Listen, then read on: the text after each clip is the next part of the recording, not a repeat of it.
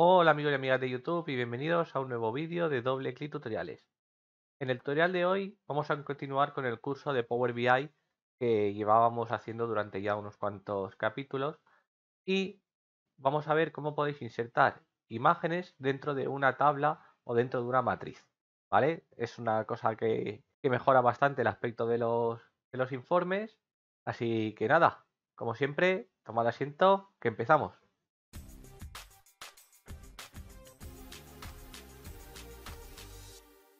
Bueno, hechas las presentaciones del tutorial de hoy, vamos a lo que nos interesa. Voy a dar por hecho de que ya habéis visto los capítulos anteriores y sabéis ya cómo cargar datos a nuestro proyecto de Power BI. Entonces, yo ahora mismo, si os enseño aquí mis datos, tengo una tabla que se llama países, donde tengo el ID de país, el nombre del país y la bandera.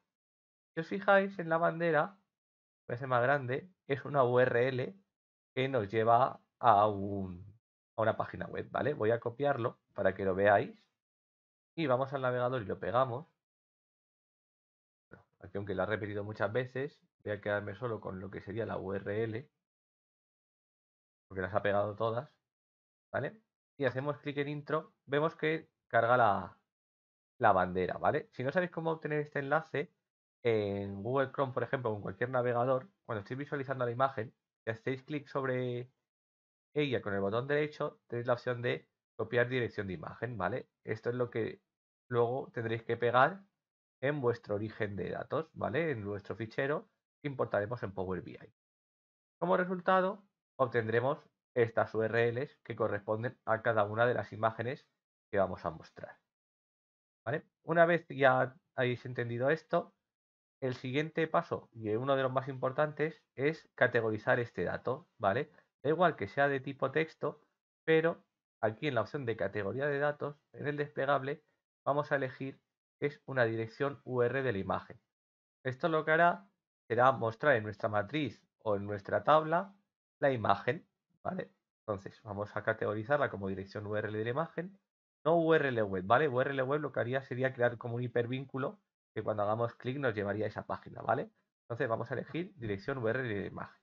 Una vez configurada nuestra categoría de datos correctamente, podemos ir a la opción de informe y vamos a agregar nuestros datos, ¿vale? En este caso voy a agregar que sería el país.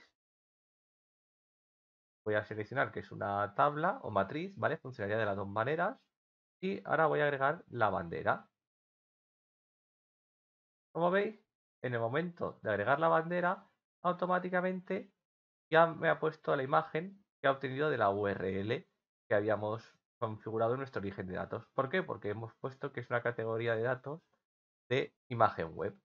¿vale? Esto, como decía, si copiamos este objeto visual y lo configuramos como matriz, veis que también funciona de la misma forma y nos pone la bandera. La podríamos poner aquí o la podríamos poner también directamente como fila. ¿Vale? Entonces, lo pongamos como lo pongamos, nos va a cargar tanto en la fila como en la columna la bandera si se trata de una matriz o a nivel de fila si se trata de una tabla. A estas imágenes le podemos dar también formato, igual que hacemos con cualquier objeto visual, ¿vale? Si lo seleccionamos, vamos aquí a formato. Dentro de la opción de cuadrícula, encontraremos una opción que se trata de la altura de la imagen, donde si hacemos más pequeñita, podemos también configurar el tamaño de visualización de la imagen para que no quede tampoco muy grande y quede muy feo en función del objeto o lo que necesitemos, ¿vale? Entonces que sepáis que también dentro de la cuadrícula tenéis la opción para eh, aumentar o disminuir el tamaño de la imagen, ¿vale? Entonces podemos hacer que quede algo más elegante o más pequeño y no ocupe toda la pantalla del informe. Y nada, hasta aquí el tutorial de hoy. Dejadme en los comentarios si os ha gustado, si tenéis alguna duda, que os la contestaré encantado. Y antes de iros, os dejo el botón de suscribiros y os dejo un botón de un vídeo recomendado que espero que os guste. Saludos y hasta la próxima.